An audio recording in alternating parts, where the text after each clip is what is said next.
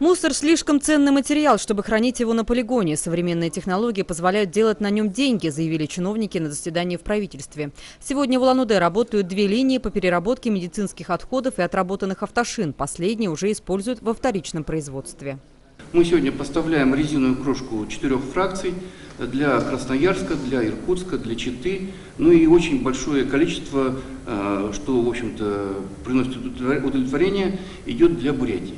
То есть стадионы в Иволге, стадионы в Закаменске, э, стадион 25-й школы, детские площадки, очень прекрасный спортивный комплекс 22-го интерната. Посмотрите, там везде и всюду покрытие из резиновой крошки, произведенное уже нашим заводом.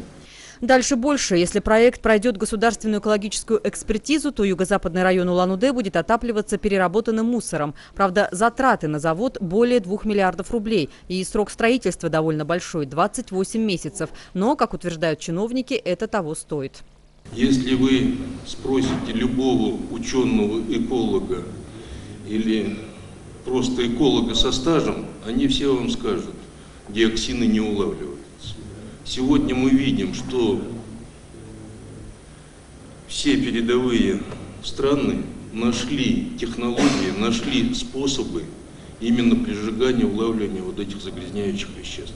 Эти технологии сегодня развиты в Германии. Опыт этой страны и перенимает Бурятия. Основной их принцип – сжигание переработанных отходов. Именно сжигание с использованием современных технологий, утверждают специалисты, позволяет избежать вредного воздействия на окружающую среду и заработать на этом.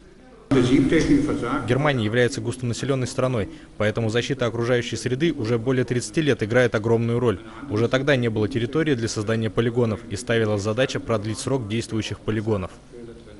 Мусороперерабатывающий завод построен в районе силикатного завода. а На него уже потрачен 1 миллиард федеральных, республиканских и городских денег. Необходимы еще немалые затраты именно от государства. Частное предприятие не осилит такие расходы.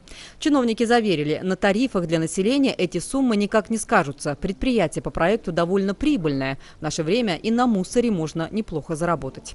Анастасия Лисова, Борис Геленов, Первая альтернативная.